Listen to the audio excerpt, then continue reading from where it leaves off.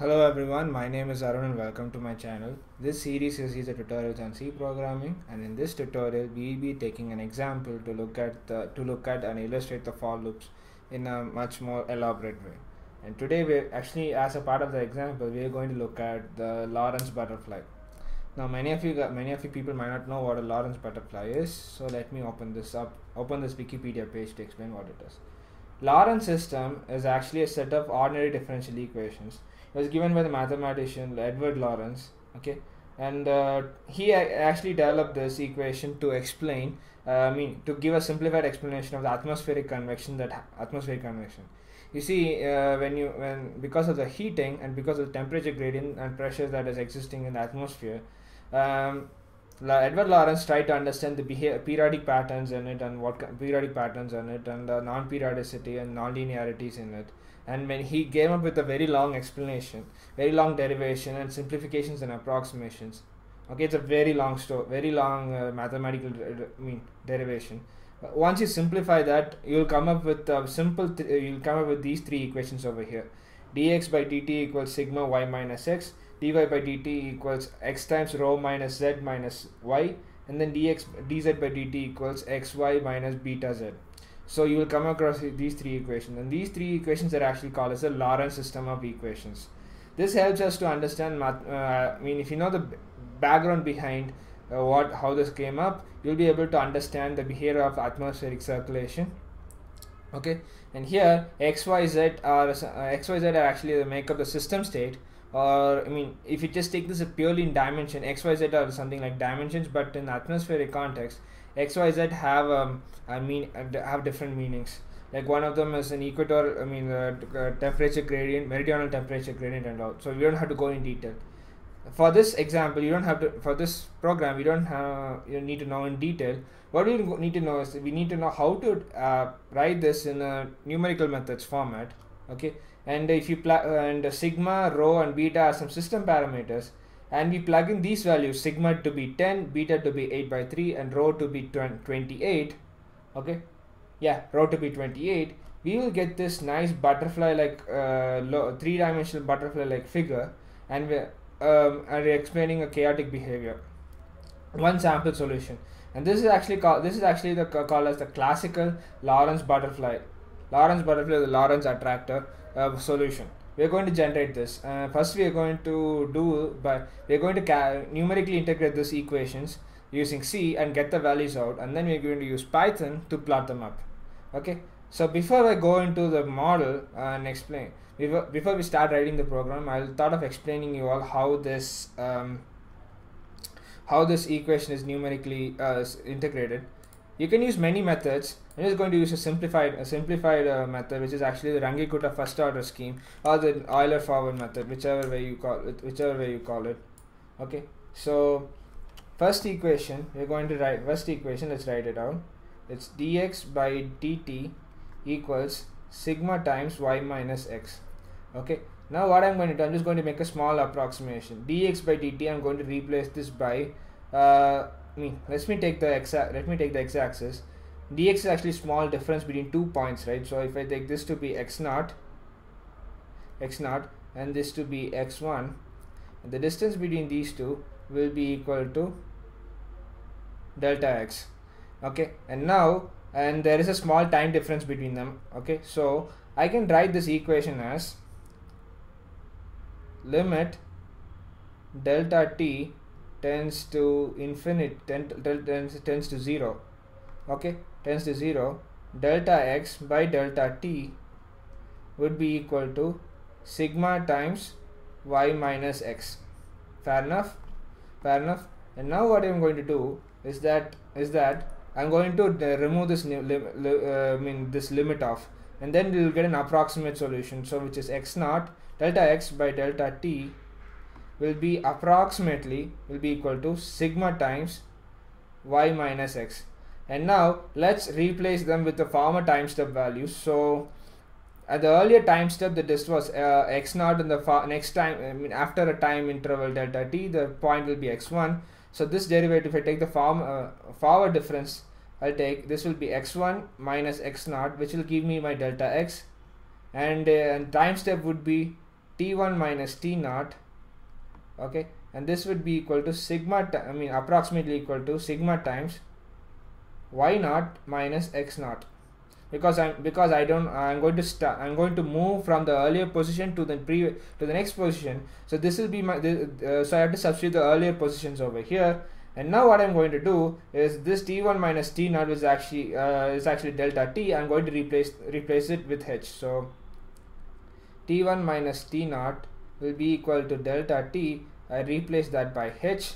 And what do I have what I have is that I'll have x1 minus uh, x naught will be equal to I'll bring the h to the other side so it will be h times sigma y naught minus x naught y naught minus x naught and then I bring this x naught to the other side I'll get x1 will be equal to minus uh, plus x naught plus h sigma y naught minus uh, x naught likewise if I were to do the same procedure I'll get an e uh, if I take the second equation I'll do the same procedure then I can write y1 will be equal to y naught plus h times x naught in times uh, rho uh, rho minus z naught z naught min, uh, minus y naught okay? And then z naught z1 will be equal to z naught plus h times x naught y naught minus beta z naught. Okay? So these are our numerical equation numerically integratable equations so i just have to remind that these are approximately approximately equal. They're not exactly equal because we're taking an approximation over here. These are approximately equal so these are the equations that we are going to use uh, inside our program to run the to simulate the, to numerically integrate this. Okay. So with that, uh, the theoretical idea set theoretical idea setting in, let's directly jump into our program and uh, now start coding. So if you all give me a second, yeah.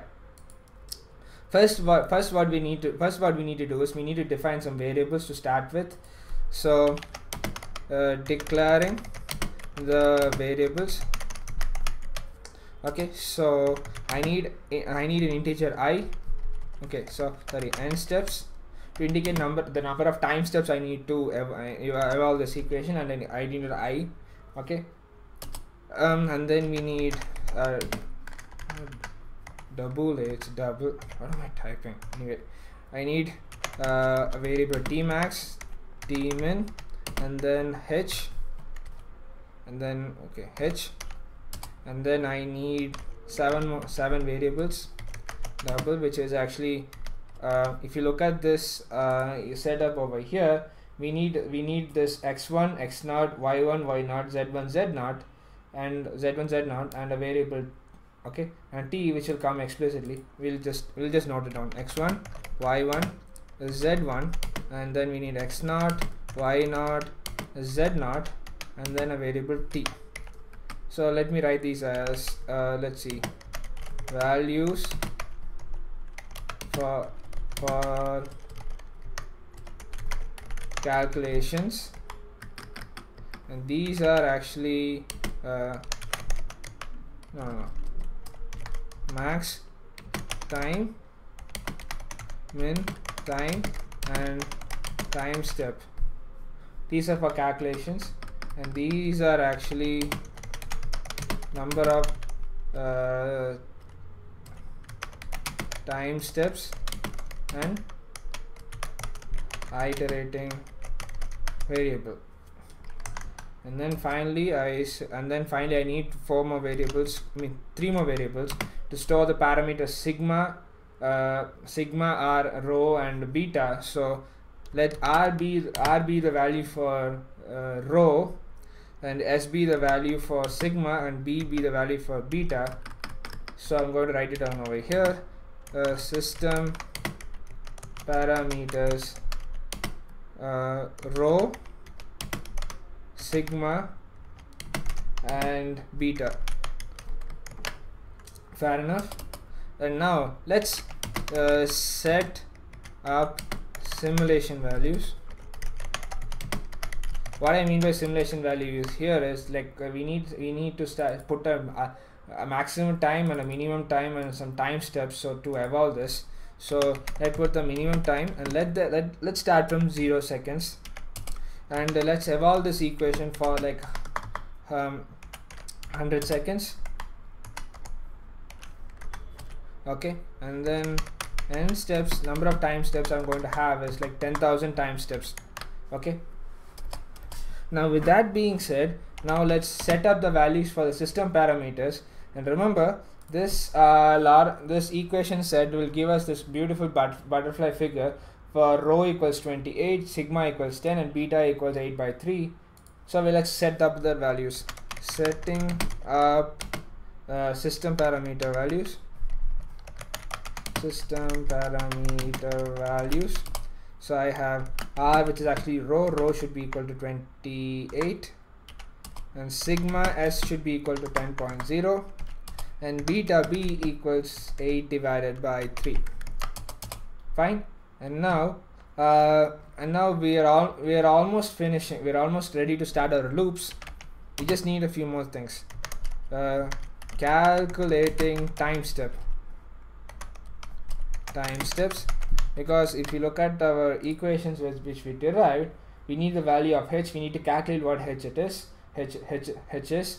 Now if you're assuming an equal time step uh, equal time even time step and that means the time h step h will be equal to maximum time minus minimum time that that will be a time interval and if I do and that divided by n steps will give me delta h will give me delta t or h. So h would be equal to uh, maximum time which is t max minus minimum time which is t min and divided by n steps. The total number of times time steps to integrate. And now if you look at this equation over here you look at this equation over here we need some starting value or some initial value to begin this numerical e numerical equation I mean numerical integration. So we need we need a value for x we need a value for y and we need a value for z. Okay? So uh, we need to initialize this initializing the calculations. So at time t equal to 0 I'm setting x naught to be equal to 0 y naught to be equal to 1 z naught will be equal to 0 so the thing is the initial condition should give me such that um, there should be uh, there should be some something non-zero so that everything goes on and on here if I do if I choose x0 y0 z0 to be 0 comma 0 this equation first equation will be 0 second equation will again be 0 third equation also will be 0 so I will be remaining there remaining in that point no matter how many times I evolve. So I need some non-zero conditions. So I'm setting up this non-zero conditions over here. At least one of them should be non-zero this x y z. You can set them any value you want doesn't matter. But if you set 0 comma 0 comma 0 they'll be there. That uh, you won't get that um, butterfly and now what I'm going to do I'm just going to print the output. Okay and the output will be of the format printf and then we have percentage g uh, first to print the time. I put a tab and then another percentage g to print the x value a percentage g to print the y value and another tab. And following that you will put another percentage g to print to print the z value and then a backslash n so that uh, we go to the next line and we uh, we, we can we can write our values like x0 I mean time x0 y0 and z0 fine? And now okay now it's time to get our hands really dirty and we are going to write the for loop to for loop. First thing we need to do first thing we need first thing we need to do is that we have to write these equations up. Since we need initialize this we have to write these equations up. So uh, so for i equal to 0 we can start with i equal to 0 and i less than uh, uh, n steps. So this will be perfect this will be enough. i plus plus and there we go there we go. And this is actually the for loop. And now I calc I put the plug in the numerical equations calculating the next time step values. So our x1 now we can write this equation equations as it is without any modification. So I have um, x naught plus h times I mean um, s star divided into multiplied by y naught minus x naught. Okay? If you just look at the equations properly you'll be able to find figure this out. Okay? Just keep the equations next to you so that you can cross check the formulas. And then what do you have? Y naught y1 equals y naught plus h times and what do you have? X naught times r minus z naught uh, z naught minus y naught and that's it. And finally the last equation z1 will be equal to z1 I mean z naught plus h times um, x naught star y naught. Okay minus b, b, b or beta times z naught. And that's it. We have the three equations ready. And now what we're going to do is uh, see before we run this for the first loop we initialize them. So for the second time we run this equation in this loop we need to reinitialize them. So what we're going to do is we just have we just type we have to reinitialize them. So reinitializing for the next time step uh, calculations. So x naught will be equal to x1 y naught will be uh, y naught will be equal to y mean y1 and then z naught will be equal to z1 okay this way we initialize this. And then uh, what we're going to do is just going to print the statement again so that uh, we'll get an idea oh, we'll get an idea what's happening okay? There we go. Now this e now this program is officially ready. So now let's give this program a, uh, a program a spin. Um, now we can actually if we just compile this uh, no problem no errors no nothing. Okay? So we're we're good to go. First what we're going to do is we just we have this uh, shell script over here. I'm going to use this shell script to run run all of this up so the, there's a, just the usual procedure. I'm just going to compile this file, file butterfly.c and then I'm going to build this uh, build this butterfly.c to get an executable. And the only difference here is I'm just running this exec but I'm just going to run this butterfly.exe and then going to print uh, put all the output to this data file. Okay, so I'm going to do this in two ways. First, I'm going to open up a terminal. Uh, terminal. Okay, I'm just going to go to this path over here, which is actually my C cd uh, desktop and then it's in C program uh, prog um, let's see um, C programs and then I have this 17 underscore chaos butterfly okay C in capitals and I have these files over here. Now I'm, what I'm going to do I'm just going to um, compile the compile these files compile these files and stuff so let me just uh, comment this out for a while. Comment this out for a while and let's see. I'm going to bash uh, butterfly.sh okay and if I list them down I have this executable file ready. So if I, if I do uh, dot slash butterfly.exe exe I'll be getting this entire list over here. I think I forgot something. Hold on. Oh I need I need to uh, I mean increase the time step as well. I mis made a mistake. You see if I looked at the output looked at the output the time part of it printed zero.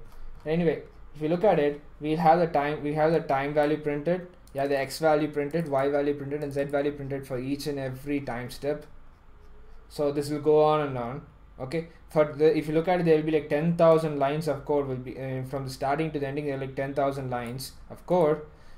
Answers 10000 so uh, time step answers so you can have that. The thing is if i were to do this like if i were to run this like this uh, this is not useful. So what i'm going to do i'm just going to I mean, run, okay? What i'm going to do i'm just going to put uh, direct all this output into a text file which i can work with. So i'm to do that i just put this back uh, arrow key. I mean uh, greater than symbol and i put output dot dat and i press enter. Looks like nothing happened but if I look at it I have this file output.dat over here. And if I just look at what's in that file um, okay um, cat will do okay cat will do. Output.dat will just print me all the values all the values over here. Like from the beginning till the end. So if you look at it we just have the values till the 100 seconds. Cool? And now we have we'll use the python program which uh, a python program to run this. I mean to plot this up. So let me exit this out. So now I have this in this bash script I'm going to execute this and put this into an output file. At the same time I'm going to use this python program to plot this. So this is my python file over here okay uh, just to give an idea what's happening these are some inputs okay? I'm just loading the output file over output file over inside this program and I'm going to extract the times time x y and z. I'm just putting the same initial condition as we have and then I'm just going to plot this up. This uh, particular line this line is the actual plotting line. Uh, this this is this will give me the actual plot whereas the, uh, whereas the remaining things make sure that my plot is pretty with all labeled and all okay? So so what I'm going to do I'm just going to open a terminal again. Let me bring this over here. So cd uh, desktop c program um, programs 17 chaos butterfly. Okay and then I have to call my python uh, which is actually in home. For me my I use anaconda python so it's in a different folder. So I, home arrow anaconda 3 and then what is it? Um, bin py, uh, python. And then I call this fi this file over here uh, plot butterfly. I press enter this should this should take a second and voila. There we go. This is a chaos butterfly. And uh, don't close the don't close it yet so you'll get this figure and now with if you have your uh, mouse cursor you can actually move this in 3d and see for yourself. And if you look at it this is actually a very beautiful magni magnificent plot over here. Okay? And now if I were to look at this look, look at this in this figure you can clearly see this these are like the two wings of a butterfly. And now if I close this this program terminates and I also and if you look at it there is this png file over here because I'm saving the plot so let me show you that png file so this is how the this is how I get now this is actually in 2D. The plot I mean sorry, this is actually in an isometric projection. So it, you, now with this image you cannot turn it uh, turn it around and see it for yourself. But in that original one, you can have a look at it.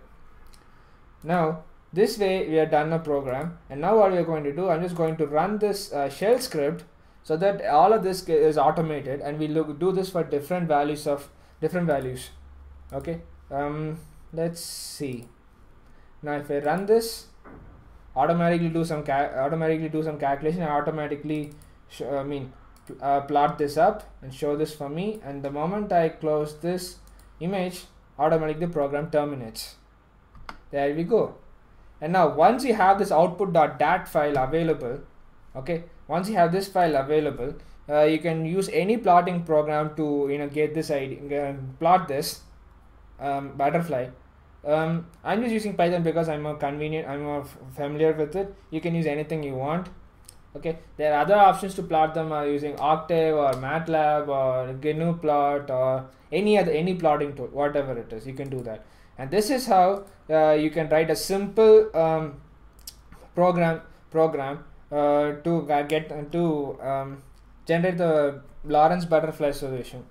And now, as an as an as a thought process if suppose if I set the value of r to be something else so I set r to be equal to 14 and here I'm going to set r to be equal to 14 because I just want the image to be coming out perfectly and now if I run this execute now if I execute this if you look at it I don't get this butterfly solution anymore okay? R is 14 for r is 14 i don't get this butterfly solution anymore. And the solution itself is different. The moment okay? The moment i change the value to uh, to something else like 20 uh, like 28 i get this. Now i can what i can do i just go and play around with r sigma b by setting up different values. I can play around with it. Now since i put r to be 28 again i set r to be 28 over here and run this there we go. I get the i get the Lorenz butterfly solution. Well hope you hope you guys loved this program. Thank you for watching. Uh, it was fun for me to work with this too. In another tutorial i'll come up with another interesting video. So till then thank you for watching and uh, uh, that's all i have for you guys in this one. And uh, see you all next time. Till then take care